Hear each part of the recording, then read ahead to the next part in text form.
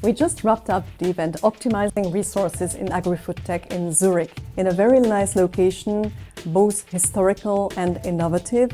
And we had the pleasure to welcome a number of stakeholders from the entire value chain, from food production to food consumption. It's very important in the field of food research that we think of the future and that we have all a strong collaboration over all the fields, from the agronomy until the consumer.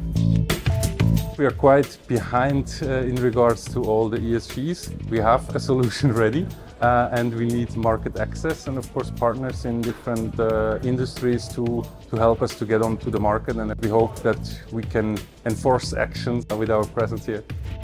I was very impressed about the readiness of the Swiss people to help each other and also the government to make sure we have this transition a success and soon. It's very well structured. We get in fact support and everyone is ready to help.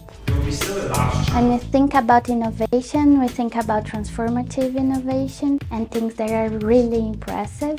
An incremental innovation for Switzerland could be transformative innovation to Brazil. And that's why we need to be together and we need to collaborate. What I love about uh, these events uh, is that it's uh, really easy to network uh, with uh, people, professionals uh, that are bringing new ideas, innovation for a more sustainable food system and more nutritious food.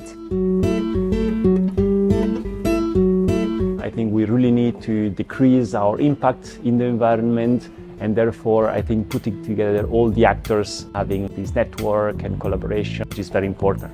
We are therefore very happy that the next year event is going to take place in Lugano in March and uh, it will be the chance for us to highlight our competencies in this specific field. See you in Lugano next year. We will discuss about retail in the food industry at large and F&B. So let's impact the food system positively.